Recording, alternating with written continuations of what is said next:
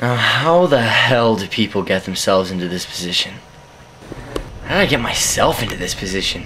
Jesus, I mean, you grow up in a good home, good school, good area, family, and still you need the fun, I guess. Money and boredom. We were all doomed from the start.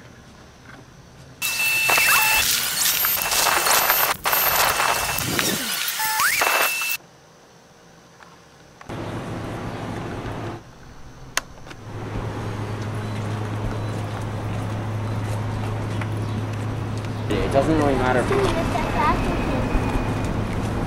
you, want some, go inside and take it. Get out. Ah! Look, if we're gonna do this, let's just go, okay?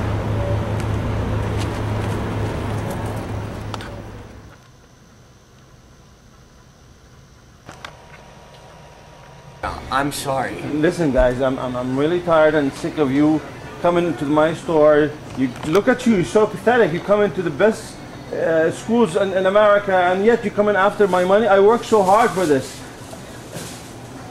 Just get out of here. Don't come back again. I don't want to see your face again in the store. Don't come back.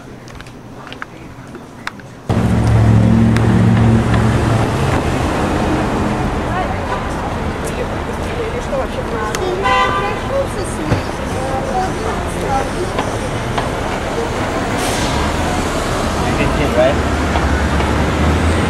Stay that way, okay? Yeah!